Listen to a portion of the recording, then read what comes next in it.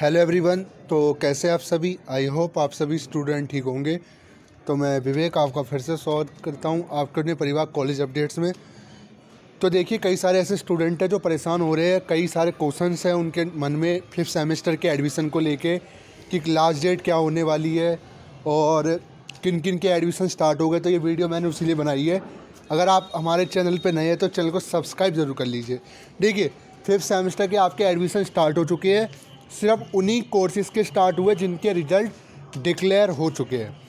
ठीक है, जैसे थर्ड और फोर्थ सेमेस्टर का जिनका रिज़ल्ट डिक्लेयर हो चुका है। अभी थर्ड सेमेस्टर के जो एडमिशन है, वो स्टार्ट नहीं हुए हैं और फिफ्थ सेमेस्टर के एडमिशन शुरू हो गए हैं। B com programme B com honour और B A honour sir political science और इंग्लिश ऑनर दोनों के, ठीक है?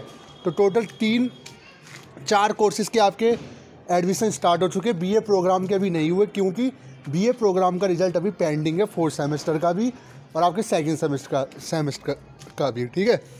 बट थर्ड सेमेस्टर का भी अभी एडमिशन स्टार्ट नहीं हुआ है।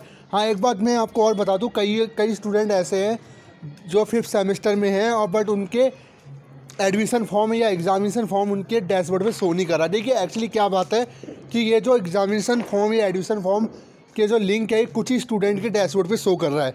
तो वेट कर लीजिए दो से तीन दिन का, जब तक ये सब में सोना कर जाए, क्योंकि एक बात और है कि अभी आप इसकी पेमेंट मत भरना, क्योंकि अगर आप इसमें लॉगिन वॉगिन की, अगर आप लॉगिन वगैरह करोगे तो इसमें आपको प्रॉब्लम देखने को मिल सकती है, क्योंकि जब भी एसओएल में कोई भी चीज़ स्टार्ट होती है नई, नए सिरे से तो उसमें आपको दो से तीन दिन तो परेशान होना पड़ता है। ठीक है? तो वेट कर लीजिए दो से तीन दिन बाद आप दोबारा ट्राई कर लेना और अपना अगर लिंक आ गया है तो अपना एडमिशन प्रोसेस कंप्लीट कर लेना।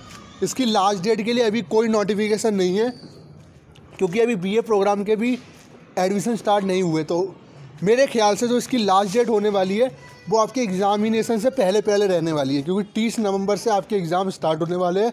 तो उससे पहले पहले मुझे लगता है कि इसकी लास्ट डेट रहेगी बट अभी कोई लास्ट डेट नहीं है।